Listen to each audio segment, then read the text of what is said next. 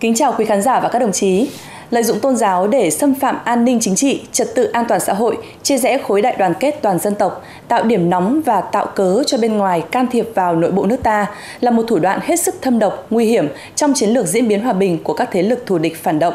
Trong chương trình ngày hôm nay, chúng ta sẽ cùng với tiến sĩ Cao Đức Thái, nguyên viện trưởng Viện Nghiên cứu quyền con người, Học viện Chính trị Quốc gia Hồ Chí Minh và đại tá Phạm Văn Sĩ, trưởng phòng dân tộc tôn giáo, Cục Dân vận, Tổng cục Chính trị để làm rõ thêm những âm mưu và thủ đoạn nguy hiểm này. Và để bắt đầu, chúng ta sẽ cùng đến với một clip ngắn.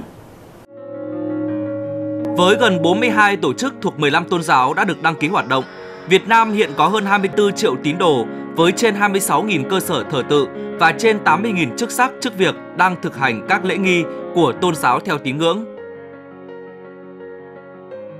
Các hoạt động tín ngưỡng của tín đồ tôn giáo đã luôn nhận được sự quan tâm của cấp ủy, chính quyền các địa phương như tạo điều kiện cho các tôn giáo tổ chức các lễ hội, xây dựng cơ sở thờ tự và thực hành tín ngưỡng theo đúng luật pháp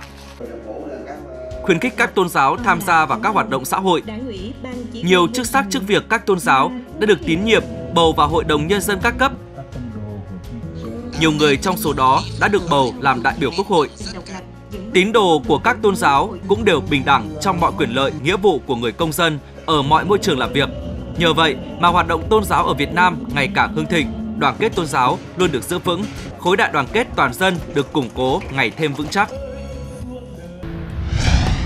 Nhưng đáng tiếc là gần đây vì thiếu thông tin rồi cực đoan trong suy nghĩ hay còn vì những động cơ không trong sáng khác mà một số người núp bóng các nhà hoạt động tôn giáo, các tổ chức nhân quyền đã đưa ra những cáo buộc mơ hồ thiếu căn cứ về tình hình tự do tôn giáo ở Việt Nam với những giọng điệu như là Việt Nam phân biệt đối xử với tôn giáo, Việt Nam đang hạn chế hoạt động tín ngưỡng của người dân, rồi kêu gọi Việt Nam phải để cho tôn giáo hoạt động tự do, đứng ngoài pháp luật có kẻ còn lớn tiếng kêu gọi bên ngoài can thiệp để tôn giáo Việt Nam được hoạt động tự do. Ô hay, cái tự do mà họ đang theo đuổi, đó có phải là vì tôn giáo thực không hay chính là vì một mục tiêu đen tối khác? Vâng ạ, thưa tiến sĩ Cao Đức Thái, ờ, qua clip trên thì là một nhà nghiên cứu nhiều năm về tôn giáo và nhân quyền, ông có thể cho biết thế nào là tự do tôn giáo và trong xã hội hiện nay thì tôn giáo có thể đứng ngoài sự quản lý của nhà nước được không ạ? Khái niệm là quyền tự do tín ngưỡng tôn giáo đấy được hiểu rằng đối với người dân đấy thì họ có quyền theo hoặc không theo hoặc là họ theo rồi lại họ lại bỏ cái tôn giáo đó. Vâng. Thứ hai nữa là họ có quyền thực hiện các cái nghi thức về tôn giáo. Và ví dụ như là lễ hội. Ở đây đấy chúng ta cần phân biệt tôn giáo với tà đạo. Tôn giáo là một cái lĩnh vực hoạt động văn hóa theo cái nghĩa uh, tốt đẹp của nó. Còn tà đạo ấy, là hoạt động lợi dụng tôn giáo vì những cái mục tiêu xấu xa thấp hèn thậm chí là có cả những cái mục tiêu chính trị phản động nữa. Ở đây đấy cái khái niệm quyền tự do tín tín ngưỡng và tôn giáo ấy, là một khái niệm pháp luật là nhà nước và quản lý cái, cái hoạt động tôn giáo. À, do đó mà tất cả mọi người đều phải chấp hành đều có quyền bình đẳng trong cái việc thực hiện những cái quyền của mình nhưng lại có trách nhiệm và thực hiện đúng pháp luật chẳng hạn như là quyền tự do tín ngưỡng và tôn giáo đó không được làm ảnh hưởng đến an ninh quốc gia, trật tự xã hội, quyền và lợi ích của những người khác. Cái quy định mà pháp luật trong lĩnh vực tôn giáo không phải chỉ có Việt Nam mà ở tất cả các quốc gia, kể cả những cái quốc gia mà có quốc đạo. Với những chuẩn mực như vậy thì ờ, tự do tôn giáo ở Việt Nam đã được nhà nước ta đảm bảo ra sao thưa tiến sĩ Cao Đức Thái ạ? Trước hết tôi muốn nói rằng đấy, nước ta là nước đa tôn giáo, một quốc gia rất đề cao tôn trọng tôn giáo và bảo đảm các cái quyền ờ, của những cái người có đạo từ cái cương lĩnh của đảng cộng sản và cho đến hiến pháp của chúng ta từ hiến pháp đầu tiên năm 1946 cho đến hiến pháp vừa qua tức là hiến pháp 2013 đấy thì đều có quy định mọi người có quyền tự do tín ngưỡng và tôn giáo theo hoặc không theo một cái tôn giáo nào đó.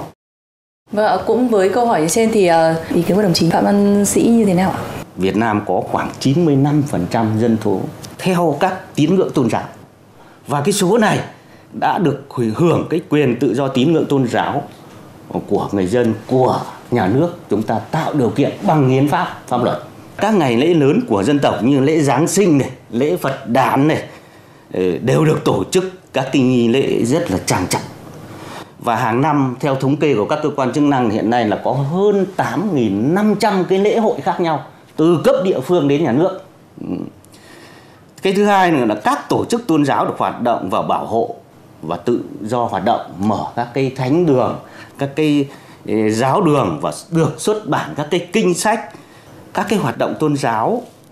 hàng năm được tổ chức tại Việt Nam do thế giới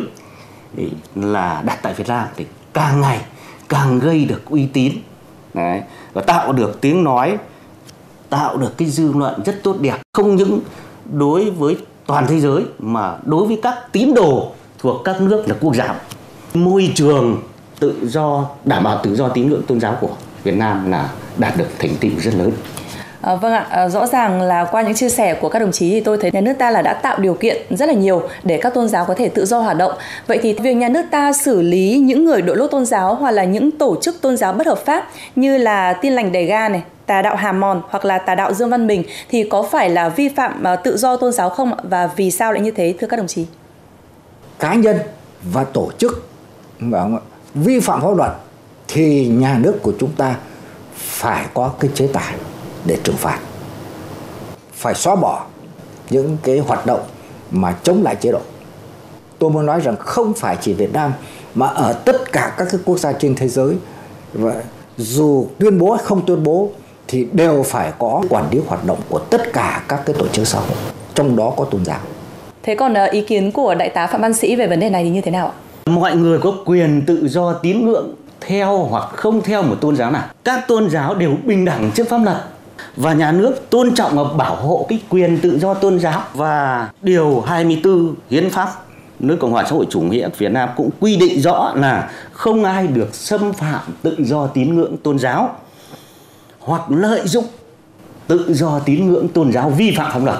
Như vậy là tôn giáo không thể đứng ngoài pháp luật được. Chính xác. Cho nên là tôi tôi tôi cũng rất là đồng nhất với tiến sĩ Cao Đức Thái là việc xử lý các tôn giáo vi phạm pháp luật là hoàn toàn đúng với chủ trương chính sách của đảng nhà nước ta và đúng với pháp luật Việt Nam và phù hợp với pháp luật quốc tế. Vậy thì vì sao vẫn có những cái tiếng nói lạc lõng cho rằng là Việt Nam không có quyền tự do tôn giáo và uh, Việt Nam tôn giáo thì bị phân biệt và đối xử ạ thưa đồng chí? Năm qua uh, khi chúng ta bắt đầu chúng ta có ban hành một cái văn bản nào, một cái pháp luật nào có liên quan tới, tới tôn giáo thì các tổ chức phản động đội nốt tôn giáo là lợi dụng để chống phá. Và chúng tìm mọi cách mục tiêu của chúng là tìm mọi cách tách tôn giáo ra khỏi sự quản lý của nhà nước. Có hai kịch bản mà các cái thế lực thù địch đang thực hiện ở nước ta và chúng ta cần phải lưu ý. Kịch bản thứ nhất à, đấy là tuyên truyền một cách kiên nhẫn à, đánh thức tất cả những cái lực lượng chống chế độ trong đó có những cái kẻ mà lợi dụng tín ngưỡng của tôn giáo. Khi họ tìm được những cái ngọn cờ đó thì họ có thể uh, kích động nhân dân và để mà làm thay đổi từng bước một thay đổi cái chế độ xã hội. Và cái kịch bản thứ hai đấy sau khi kích động được người dân biểu tình rồi bạo loạn thì họ có thể vào ờ, là phát tán trên cái không gian điện tử đấy kêu gọi các cái nước ngoài can thiệp việc ờ, cố tình xuyên tạc tình hình tự do tôn giáo ở Việt Nam nhằm tạo cớ cho nước ngoài can thiệp đó là thủ đoạn hết sức nguy hiểm của các thế lực thù địch phản động, những kẻ đội lốt tôn giáo. Và trước khi tiếp tục cuộc trao đổi này, chúng ta sẽ cùng theo dõi một clip nữa.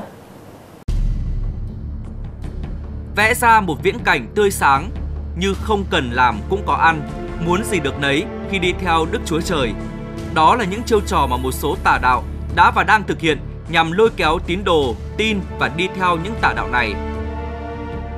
lợi dụng sự cả tin nhẹ dạ và nhận thức còn thấp của một bộ phận đồng bào dân tộc ở vùng sâu, vùng xa, vùng biên giới để truyền đạo trái phép. Thâm độc hơn là tổ chức giao giảng đạo lồng ghép với các hoạt động tuyên truyền chống phá nhà nước.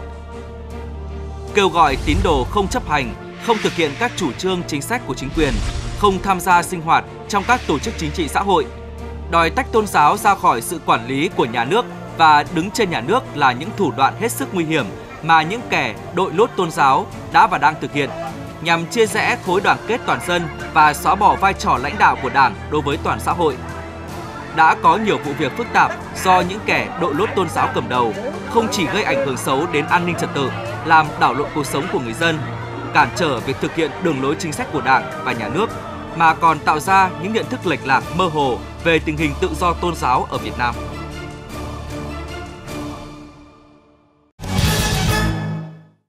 Vâng, tiến sĩ Cao Đức Thái, qua clip trên thì uh, cho thấy là rất nhiều những thủ đoạn lợi dụng tôn giáo mà những kẻ cơ hội cực đoan đã và đang thực hiện để nhằm chống phá những cái chủ trương chính sách của Đảng và nhà nước ta. Vậy thì vì sao chúng lại chọn tôn giáo làm ngòi nổ cho việc chống phá đó thưa đồng chí? Là vì ờ, cái bộ phận dân cư và ờ, có tín ngưỡng vào tôn giáo đấy thì cái đời sống tinh thần và tâm linh của họ là dễ bị các cái thế lực thù địch thao túng. Tức là có những cái mà người ta lẫn lộn giữa vào à, cái đời thật với lại cái cái cuộc sống ảo và giữa cái đời sống hiện thực với lại cái đời sống tâm linh. Phương thức thủ đoạn mà các đối tượng thường sử dụng à, để thực hiện mưu đồ đen tối đó là gì ạ? Và qua những cái phương thức thủ đoạn đó thì sự nguy hiểm của nó là như thế nào, thưa tiến sĩ Cao đức thái? Cái con đường mà các cái thế lực uh, uh, dẫn dắt đấy cái tư duy của người dân và là rất là khôn khéo. Sau đó rồi đấy họ mới lại tuyên truyền đến những cái điểm nó tương đối cụ thể hơn. Tức là tuyên truyền cho rằng chính sách này là không đúng chính sách kia là sai lầm. Như vậy và cái mục tiêu cuối cùng của họ vẫn là nhằm vào hạ thấp cái uy tín của đảng muốn